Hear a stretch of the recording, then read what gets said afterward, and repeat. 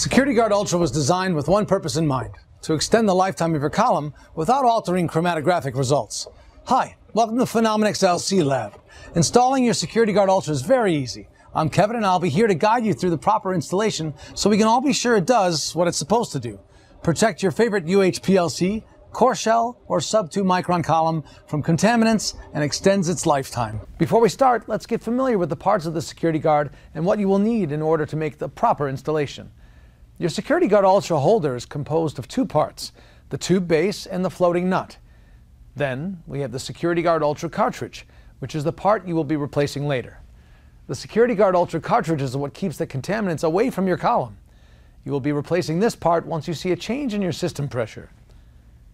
In order to install it correctly, you will need one 5 16th inch 8 millimeter wrench to hold the cartridge and a second wrench whose size will depend on the column hardware. For this video, we are using a 3 8 inch wrench. Now, let's begin.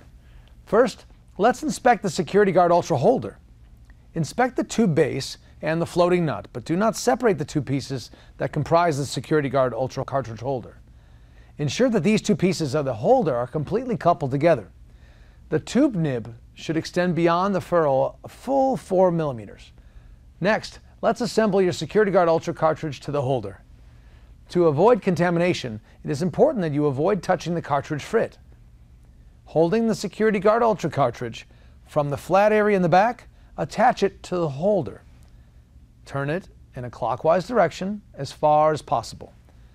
Now that the cartridge is assembled, you can connect it to your favorite UHPLC, core shell, or sub 2 micron column. Hold the assembled holder cartridge by the flat area and insert the tube nib of the holder straight into your column's end fitting. Using your hands in a clockwise direction, screw the holder cartridge assembly into the column inlet end fitting as far as it will go. The tubing will extend to the appropriate port depth of your column's end fitting. Now, let's tighten these parts together to make sure they're leak free. Place one 5 16 inch or 8 millimeter wrench on the flat area of the Security Guard Ultra cartridge. Place a second wrench on the end nut of the column. Turn the wrench on the Security Guard Ultra cartridge in a clockwise direction. Do not turn the wrench on the column. About 15 psi of torque is sufficient to seat the ferrule of the holder to the column and provide a pressure stability of up to 20,000 psi or 1,378 bar. Be careful not to over tighten as this may cause cartridge and system failure. Didn't I tell you that was easy? Your column is now protected from particulates and contaminants and ready for analysis. Don't forget, this is just one of our helpful tools for Security Guard Ultra installation. You can get more installation tips in the Security Guard Ultra instruction manual or by watching the cartridge replacement and the system installation videos.